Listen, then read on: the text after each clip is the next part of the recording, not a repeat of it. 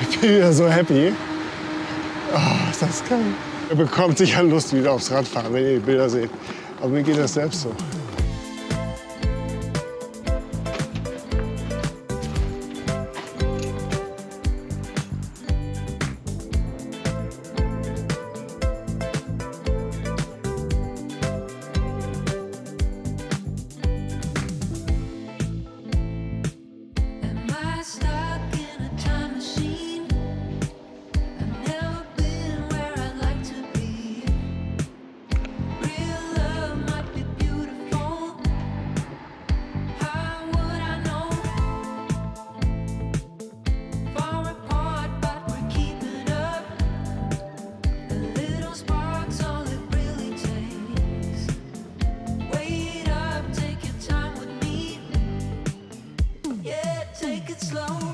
Ich bin jetzt hier in äh, Travemünde, bin hier gerade angekommen im Zug von Hamburg aus und will heute eine Tour starten nach Wismar an der Ostsee entlang und mal schauen, ob es eine Tagestour wird oder eine Zweitagestour.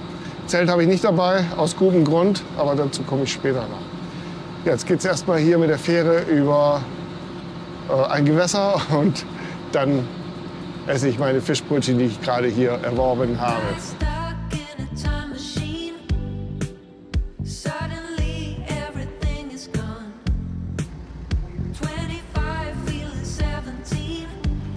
Ja, cool, endlich geht's bei mir los. Ja, letztes Jahr war ich hier auch in Travemünde. Als ich meinen Arm gebrochen hatte, bin ich mal hergefahren, natürlich ohne Fahrrad, in einen voll überfüllten Zug und ja, habe hier ein bisschen rumgelungert. Ja, konnte ja nicht viel machen. Und ja, jetzt freue ich mich auf die Tour an der Ostsee entlang. Schauen, es ist noch etwas frisch und morgen soll es noch kälter werden. Ob ich morgen noch weiterfahre, weiß ich noch nicht. Ähm, ich fahre auf jeden Fall erstmal nach Wismar, dann vielleicht nach Schwerin und vielleicht nach Rostock weiter. Keine Ahnung. Ich setze mich erstmal auf ein Bänkchen in der Sonne und werde mir die Fischbrötchen reinziehen. Ist ja total geleckt hier.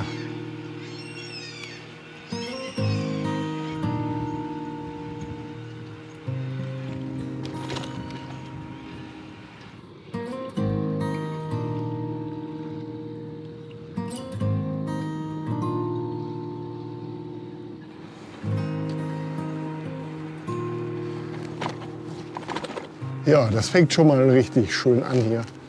So kleine Dünchen. Und ja, mein Fischbrötchen wollte ich jetzt gerade nicht essen. Vor dem Restaurant von Hensler. Da wäre mir sicher ein Appetit vergangen.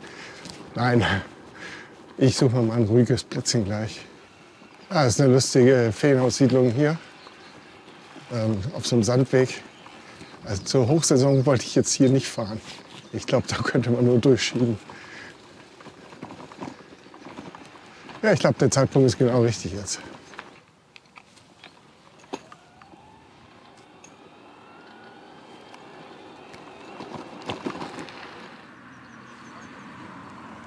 Das geht ja schon gut los hier. Eine Sperrung, es gibt hier keine Alternative. Keine Alternative außer an der Straße entlang. Aber da kommen andere Radfahrer entgegen. Mal sehen, was die sagen. Jo, nagelneuer Radweg soll hier entstehen. Der ist noch nicht fertig. Hier ist das Planung fertig. Und gerade kam eine Frau, irgendwie erscheinen die bei dem Tourismus hier zu arbeiten. Und meinte, ja, man könnte hier durchfahren. Das war auch Zufall, ich wäre aber auch sonst hier durchgegangen. Ja, ach, ist das geil wieder. Cool, sehr geil. Ich habe meine Route so geplant, dass sie immer am Wasser entlang führt. Und ich denke mal, das ist der Ostsee-Küstenradweg D3, glaube ich, war das. Ja, ist noch ein bisschen frisch, 13 Grad. Ich habe in der Wetter-App mal geguckt, in Süddeutschland sollen das ja um die 26 Grad werden. Ja, zum Beispiel in Tübingen. Hier kriegen wir heute vielleicht mal 18 Grad zusammen. Aber mir reicht das. Hauptsache, es sind nicht so viele Touristen unterwegs. Danke. Ja, hier rechnet auch keiner mit Verkehr. Ah, verlegen die hier so komische Platten wieder. Hier wäre ein schönes Plätzchen gewesen, aber es ist etwas zu schattig. Ende der Baustelle nach zwei, drei Kilometern etwa. Und ich setze mich erst mal gleich dahin und freue mich schon auf das Frühstück.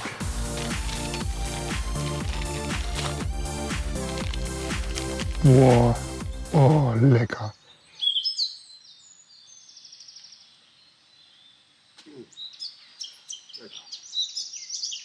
Ich wollte eigentlich nur zwei Matthias-Brötchen bestellen. Und dann fragte sie mich, ja, welchen Matthias?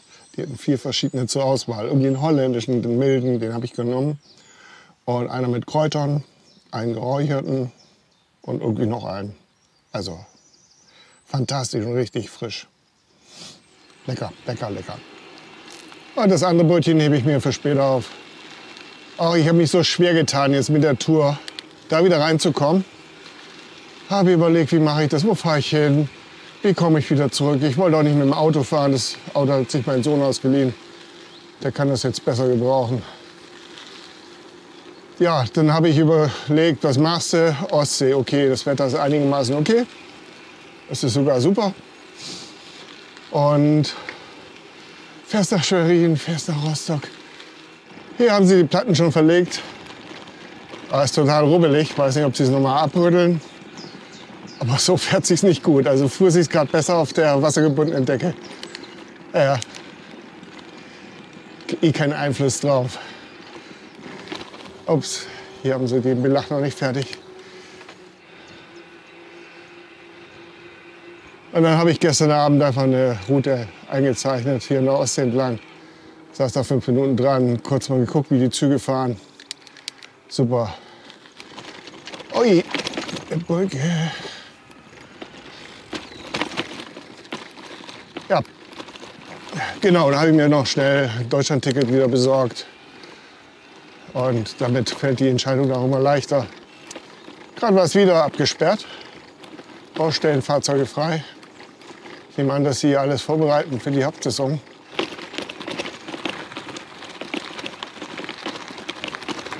Ostsee-Küstenradweg. Okay, da bin ich richtig. E9. Iron Curtain Trail. Ja, eiserner Vorhang äh, Trail.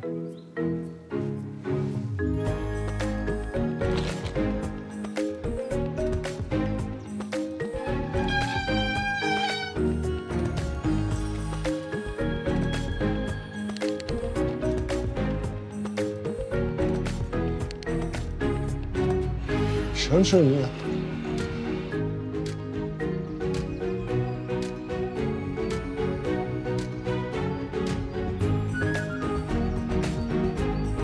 Es gibt hier auch ganz viele Sitzbänke.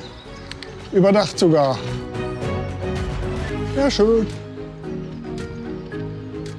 Aber so viele Fischbrötchen habe ich nicht dabei.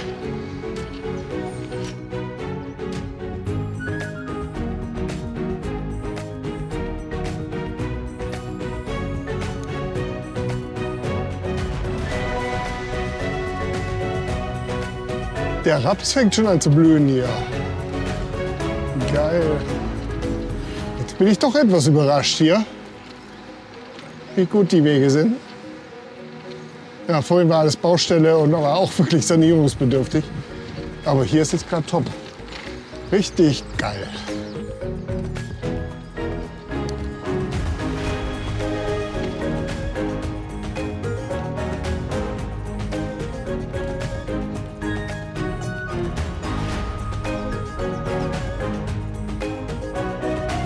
Oh, was für eine krasse Steigung hier.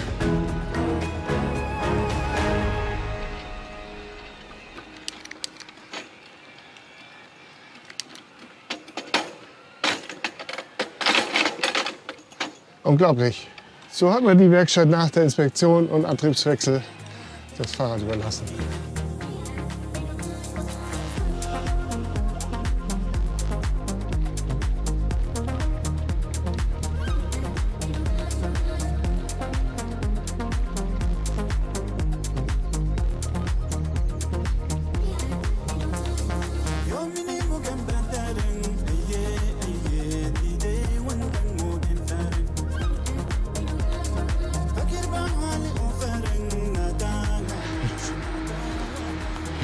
so happy. Oh, ist das geil.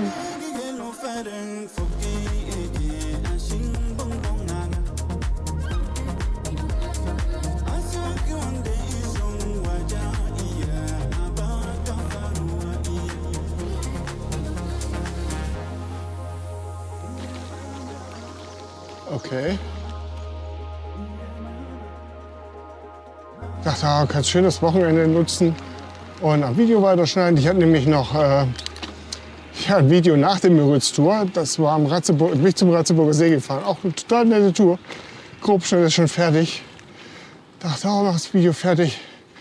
Nee, hab gesagt, komm, jetzt raffst dich auf und fährst wieder eine Tour. Und ich bin so froh, dass ich mich dazu auch ja, zusammengerissen habe, sag ich mal. Guck mal, schönes Fachwerkhäuschen hier. Sehr cool. Ja, jetzt geht es ein kleines Stück landeinwärts und dann ein paar hundert Metern wieder zurück ans Meer. Wer meine Videos schon länger schaut, der weiß ja, dass ich hauptsächlich mit OSM Ant äh, navigiere. Den Track habe ich noch auf meinem Nyon liegen, um einfach die Strecke zu sehen, aber der navigiert halt nicht. Ich habe jetzt herausgefunden, dass man bei Osman das so einstellen kann, dass das Display bei Navigationsanweisung angeht und nach einer bestimmten Zeit wieder ausgeht. Ich habe fünf Sekunden eingestellt, ist genial und spart halt eine Menge Strom.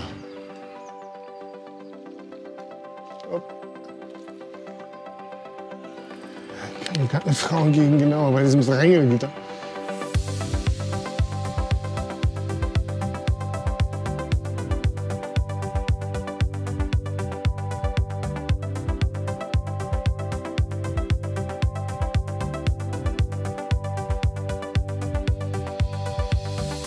Es ja letztes schon erzählt in meinem Erklärvideo oder ich sag mal in dem Videoschnittvideo, dass ich meine Drohne kaum noch benutzt habe.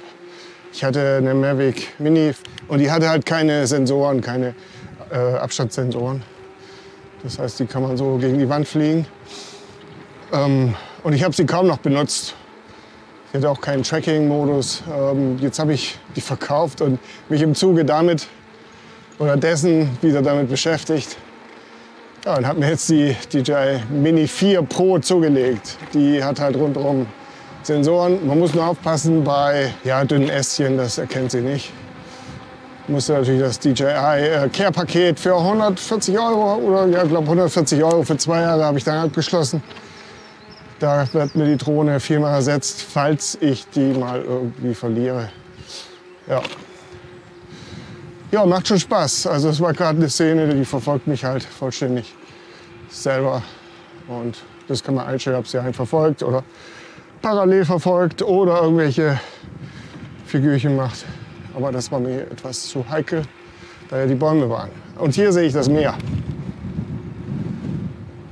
Hier seht ihr das. Da ist mir gerade eine Wespe reingeflogen in den Helm. Das ist der Nachteil bei diesem Helm. Der hat vorne gar keine Gitternetzstruktur wie mein alter Abus-Helm. Jo, das wundert mich. Wie soll das funktionieren? Da fliegen doch ständig irgendwelche Viecher rein. Das kann man die alle aus den Haaren kämmen nachher.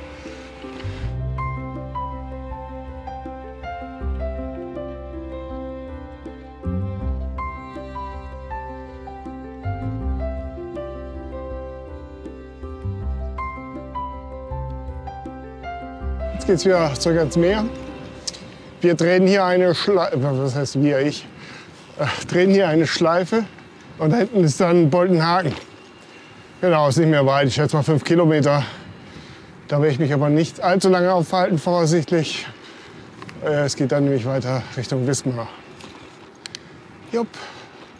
Hey, ich bin überrascht, ich bin echt überrascht, was der Tag mir heute schon geboten hat.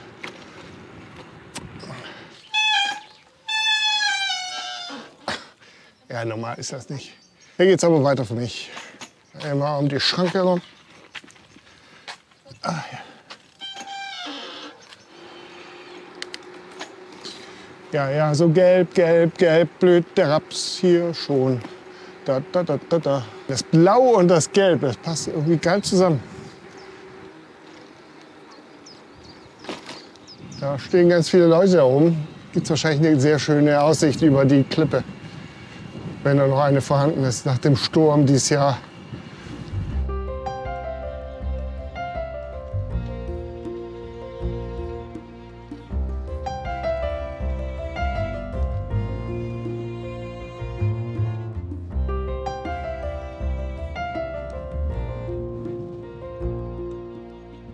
Kenne das ja alles immer mal wieder.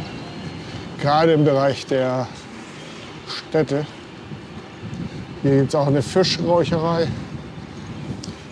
Muss ich jetzt auf diesem Schrottweg fahren oder wie?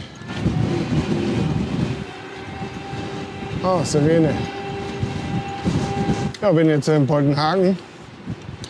Ja, also Fahrradinfrastruktur ist praktisch hier nicht vorhanden. Es gibt keine Radwege hier. Jo, wo bin ich denn hier gelandet? Bin gerade mal etwas von der Strecke abgefahren, weil es hier so eine Landzunge gibt. Und ja, ist ganz nett hier und urig. Ja, vielleicht esse ich hier mal mein äh, anderes Fischbrötchen. Ja, sehr cool. Hier kommt, glaube ich, keine Sau vorbei. Oh, hier ist jemand verstorben. Hey, sehr schön. Ist das nicht herrlich? Ist das nicht geil?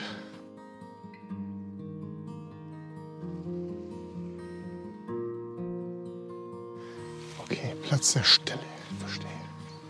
Platz der Stille. Aber Brötchen essen darf ich hier, oder?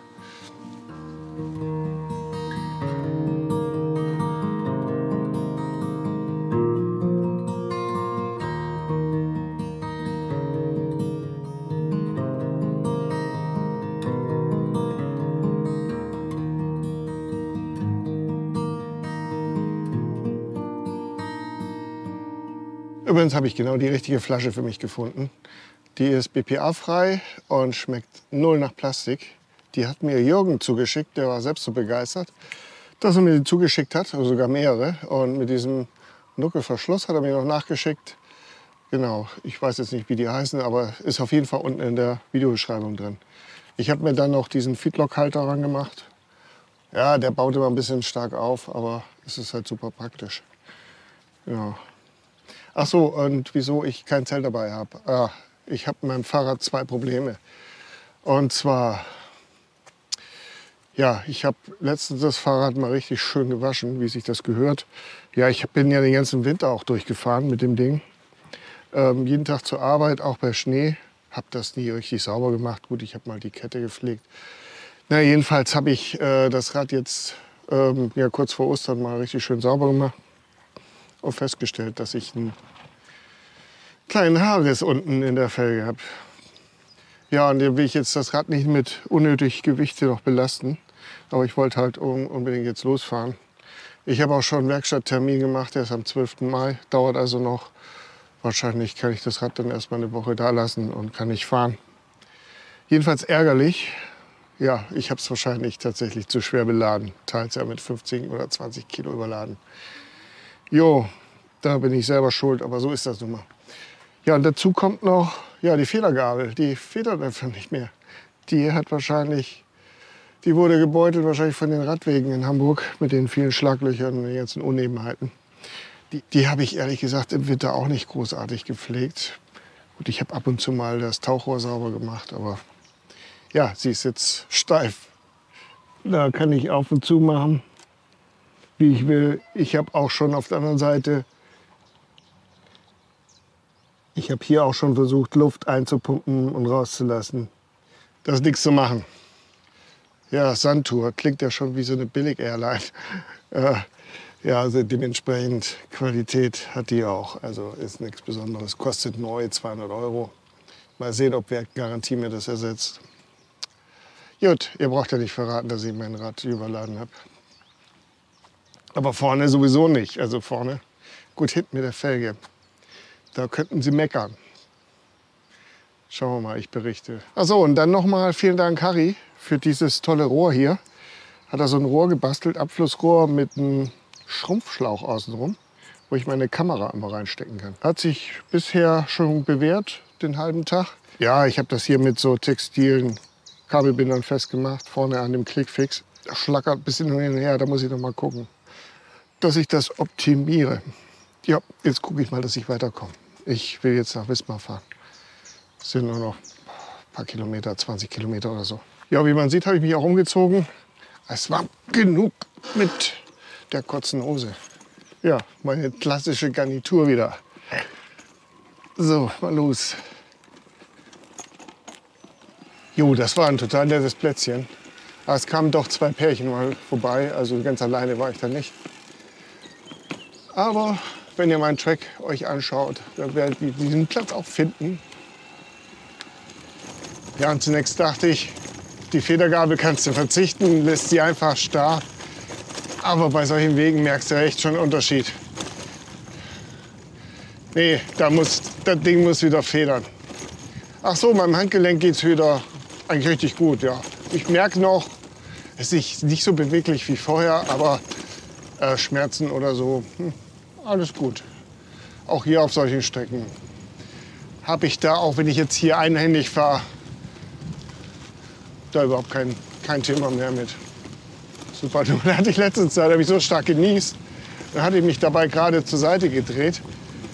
Ich war der Meinung, ich habe eine Rippe dabei gebrochen. ich konnte kaum noch aufstehen. Ich dachte so, der, das war an Ostern, dann wollte ich eigentlich eine Tour machen. Und dann, nee, vergiss es. Da kommst du nicht mehr aus dem Zelt raus. Und deswegen, ja, habe ich echt schon wieder Panik gekriegt. Aber inzwischen ist das wieder gut. War wahrscheinlich nur eine Zerrung. Aber beim Aufstehen hatte ich so richtig Knirschen gehört immer. Als wenn Knochen auf Knochen reibt. Naja. Man wird nicht jünger. Man wird nicht jünger. Wen es interessiert, ich werde dieses Jahr 57. Oh, geht auch schon langsam auf die 60 zu. Ey.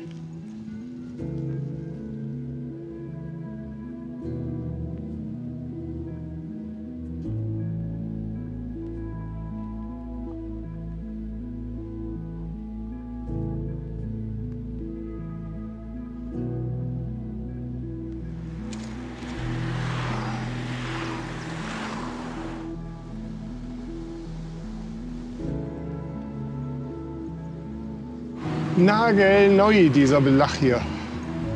Sehr schön.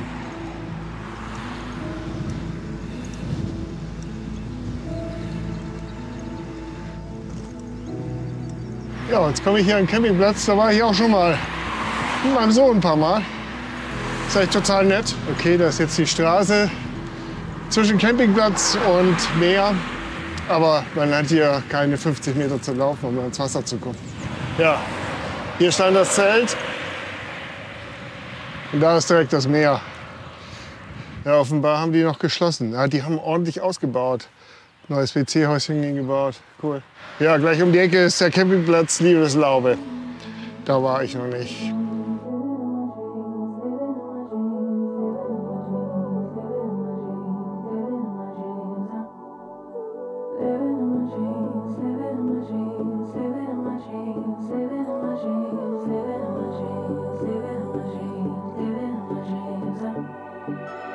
Okay, da war jetzt ein bisschen Landstraße dabei. Jetzt geht's wieder ans Wasser. Ja, aber teils ganz schön hügelig. Im E-Bike ist schon nicht schlecht. Ah, ich merke da nicht viel von, von den Steigungen. Der Platz scheint für Touristen auch nicht offen zu sein. Wir haben ja jetzt erst den 13. April, meine ich. 13. April, glaube ich. Hier kann man im Leuchtturm übernachten, auch wenn das kein echter ist. Aber man hat da oben einen Rundumblick. Ach, nette kleine Häuschen hier. Schöne kleine Ferienhaussiedlung. Ganz ordentlich. Das sind ja mal interessante Häuschen in Wabenform. Cool gemacht. Oh, es gibt immer so viel zu entdecken. What's left of last night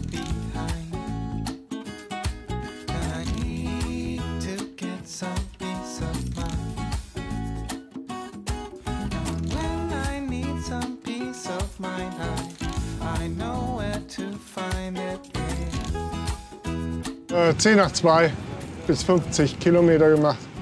Ja, ich habe ein paar Mal die Drohne rausgeholt, bestimmt sechs, sieben Mal. Nicht alles ist was geworden. Muss man noch ein bisschen üben. Ja, ich bin in 15 Kilometer, nicht 12 Kilometer in Wismar.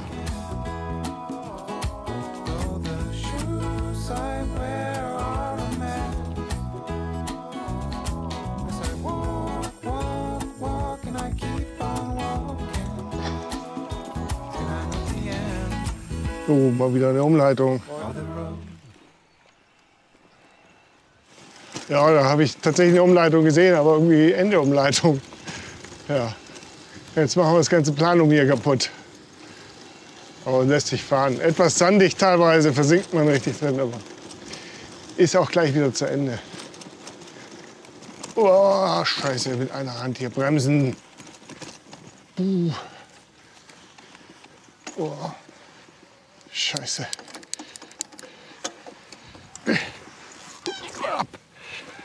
Ja, das ist immer die Herausforderung zu filmen. Ja, inzwischen sind meine Griffe hier auch durch, zumindest die Gummis. Ich könnte die natürlich nachbestellen, aber ich habe mir jetzt andere Griffe bestellt, die seitlich halt ein Röhrchen haben oder Deckel fürs Röhrchen am Lenker, so dass ich von der Seite einen Spiegel anbringen kann. Den Spiegel und dieses Adapterstück hier habe ich auch schon bestellt. Habe ich schon da. Jetzt warte ich nur noch auf, den, auf die Griffe. Das werden diesmal Ergon GP3. Genau. Ja, hier sind ja nur redgedeckte Häuser. Reddachgedeckte Häuser.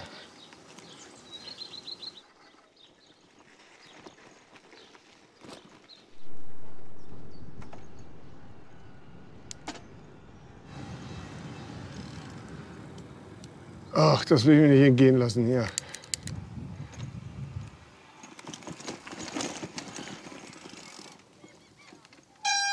Schade, dass ich mehr zu essen dabei habe. Wobei ich habe gar keinen Hunger. Aber was trinken werde ich jetzt mal kurz.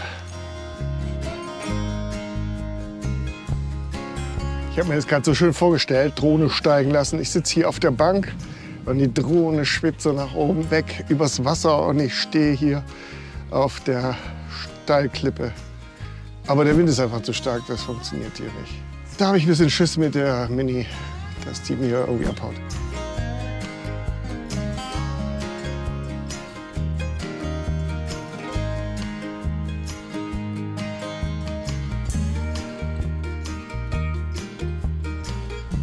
Ich konnte es dann doch nicht lassen.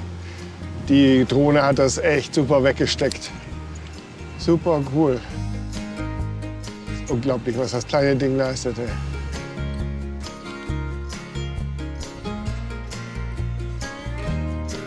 Oh, noch vier Kilometer bis nach Wismar.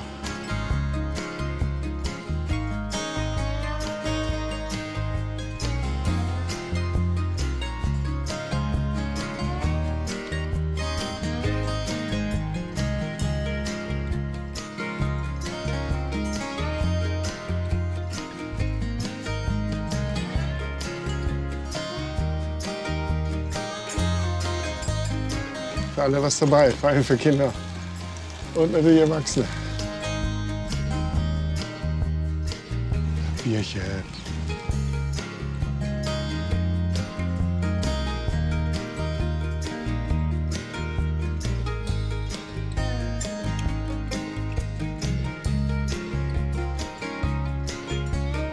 So, bin inzwischen in Wismar. Was mich hier total überrascht. So einen breiten Radweg. Gut, der ist jetzt scheiße, aber ich meine, der ist schön breit hier. Und der ist bestimmt noch nicht fertig.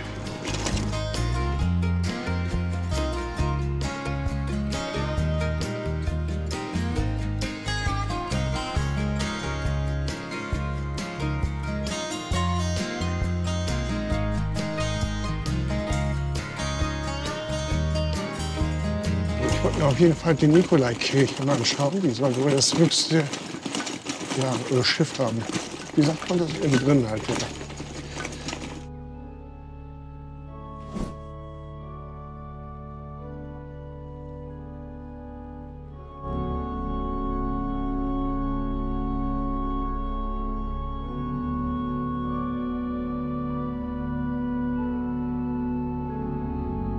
Eins der höchsten Kirchenschiffe der Welt oder keine Ahnung, Backsteinkirchen. Ja, jedenfalls läuft man da auch über die alten Grabsteinplatten. Da sind die Namen größtenteils durchgestrichen. Das heißt, die sind nicht mehr, ja, da wohnt keiner mehr oder ist keiner mehr drin. Ähm, jetzt bin ich hier am Markt. Das ist irgendwie das Wasserwerk oder Wasserkunst. Die hatten hier damals ein sehr ausgeklügeltes äh, ja, Wassersystem und das war halt hier so die Zentrale. Genau, und hier ist ja irgendwo der alte Schwede. Da kommt ja auch der Name her, äh, dieses Sprichwort alter Schwede. Genau. Und die meisten Fassaden hier sind so ungefähr 200 Jahre alt. Die wurden mal, ja, als die Kaufleute hier ihren Reichtum zeigen wollten, halt aufgepimpt. Aber hinter den meisten Häusern stecken tatsächlich uralte Fachwerkhäuser.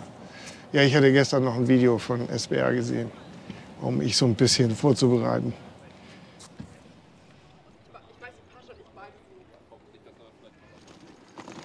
So, ist jetzt 17 Uhr. Ich bin jetzt, jetzt wieder los von Wismar. Und gleich gibt es mehr Infos. Ja, bin jetzt wieder aus der Altstadt raus. Ich habe noch lecker Pizza gegessen, ähm, ja, Bier getrunken. Und sich dann wieder da aufzuraffen, ist gar nicht so einfach. Ich habe jetzt beschlossen, und zwar, Moment, so, ich musste mir doch erstmal wieder einen Pulli anziehen. Es sind zwar 18 Grad auf dem Thermometer, aber es fühlt sich irgendwie kühler an. Na, jedenfalls habe ich beschlossen, was habe ich beschlossen? Ach so, ich wollte jetzt weiter nach Rostock fahren und ja, habe mir eine Zwischenübernachtung ähm, ausgesucht und gebucht. Äh, Neubuko, genau. Und werde jetzt aber weiter meine Strecke an der Ostsee fahren und in Buko muss ich dann rechts abbiegen. Genau, nach, nach Neubuko. Jo, ähm, genau, ich könnte zwar jetzt durchfahren, nach Rostock sind 85, äh, 80 Kilometer jetzt noch. Aber was soll ich äh, in der Nacht fahren? Da habe ich auch überhaupt keinen Bock drauf. Deswegen, ich habe ja noch einen Sonntag frei. Gut, jetzt geht's mal weiter nach Neubuko. Ja, fahre hier am Hafen noch von Rostock vorbei. Und hier ist ein riesen Holzlager. Das sind bestimmt einige Werte, die hier rumliegen. Ah, ich habe gerade ewig hin und her überlegt, als ich die Pizza gegessen habe. Ja, was ich jetzt machen soll. Auf der Insel Pöhl gab es über Airbnb ein Zimmer. Ja, hätte ich extra auf die Insel fahren müssen, wieder zurück. Und dann habe ich nach Hotels gesucht bei Google Maps und bin letztendlich dann, ja, habe ich mich für dieses kleine Hotel entschieden. Ja, ich glaube, das ist ganz nett. Es ist ja auch nur zum Übernachten einmal. Ah, guck mal. Schön.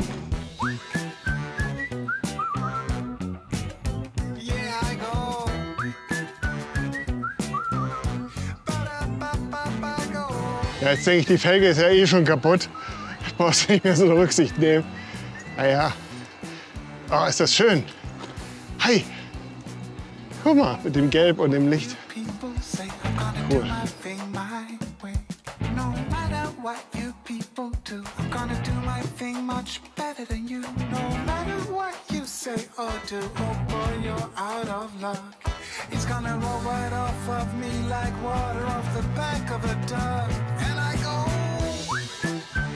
Ich sehe schon, ihr bekommt sicher Lust wieder aufs Radfahren, wenn ihr die Bilder seht.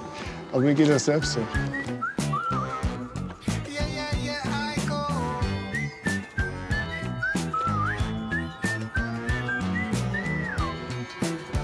Zur Dokumentation. Ich bin jetzt ja etwa fünf Kilometer hinter Wismar in Richtung Rostock.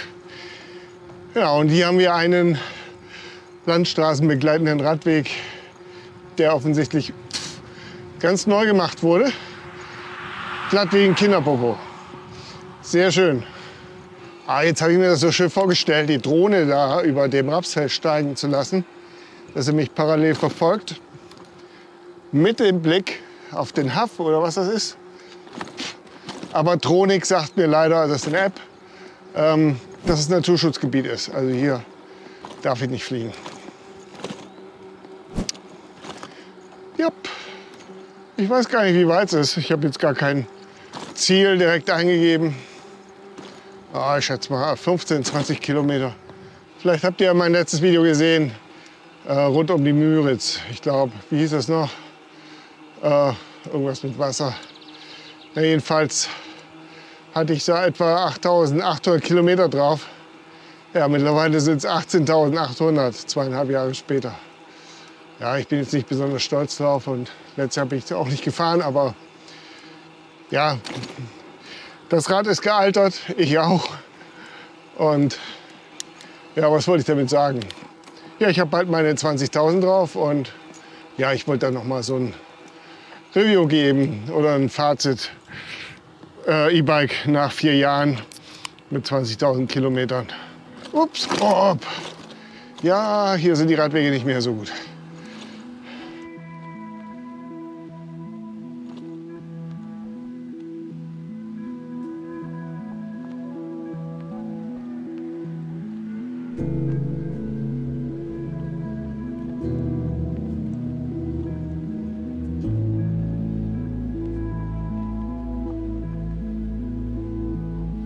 Mal Orientierung. Ich wollte mal wissen, wie weit es noch ist bis zu meiner Unterkunft.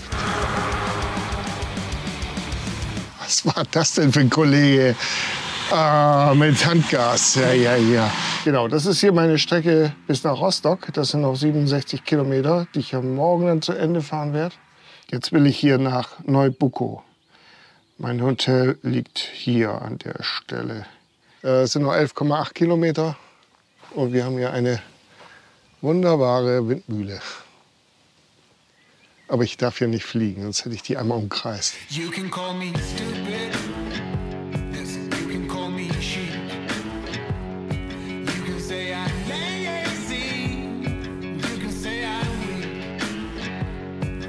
Also die Ostseeküste habe ich mir etwas anders vorgestellt.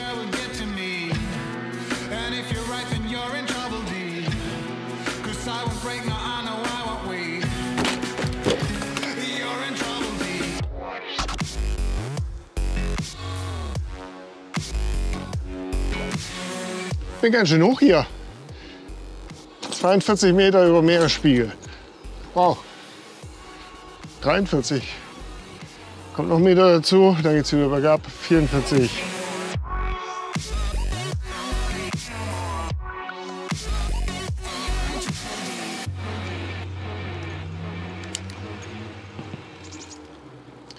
Leider sieht man es hier nicht. Ich fahre mal kurz vor.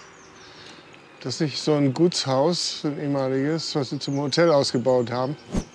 Das ist mir auch gerade bei Booking aufgepoppt. Ja, das hier. Ich habe mich für das andere entschieden. Fahren wir die Runde hier zu Ende. Ich muss wieder auf meinen Track. Bin ja nur wegen diesem Gutshaus hier vorbeigefahren.